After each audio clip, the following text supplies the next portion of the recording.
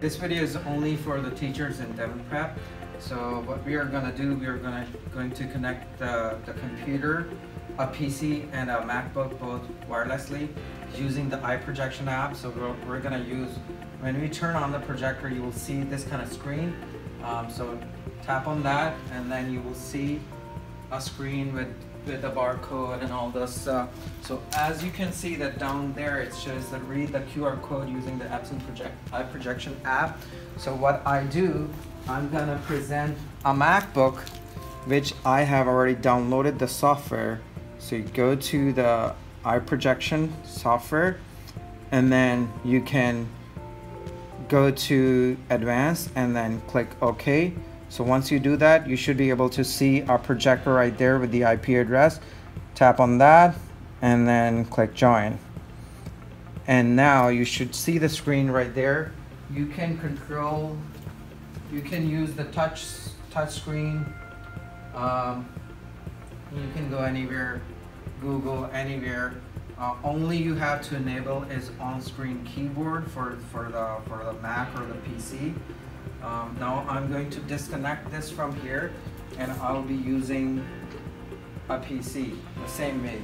So what I'm gonna do, I will go ahead and go here and then disconnect and then yes and then I will be disconnected. So now I'm going to use a PC the same way but I will show you the website. If you do not have the software, please contact our IT department send us an email, send us a ticket so that we can take care of you.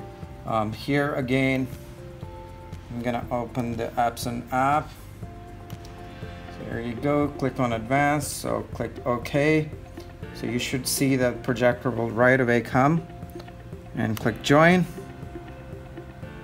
And then you should be able to connect. Here, to enable the, the typing, I will enable the on-screen keyboard on Windows. So if I go on Windows and type on, it's gonna show the on-screen keyboard. Simply I'll tap that and I will minimize this one to use that there.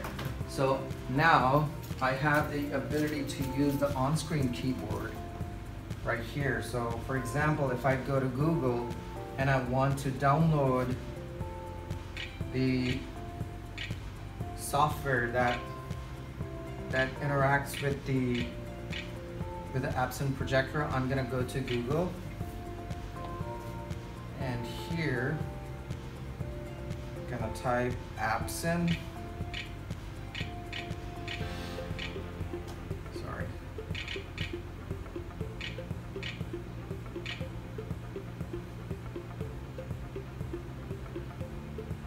iProjection you see here.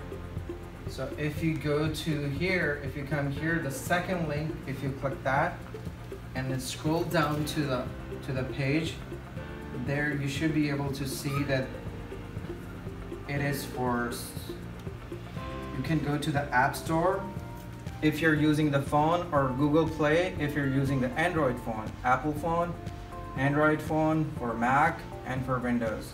So if you're using Windows, for example, at the moment I'm using Windows, simply tap there and you should be able to see that this will download the software. You would need a permission to install this software. So in that case, you would have to contact us and we can install that.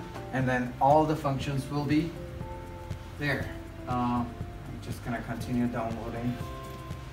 Download it, I can close that, exit, and here the other functions you can enable the uh, whatever tools you want to do for example this this or erase the whole screen and that's pretty much for connecting the Epson projector to your Mac or PC. Thank you so much for watching this video. Have fun.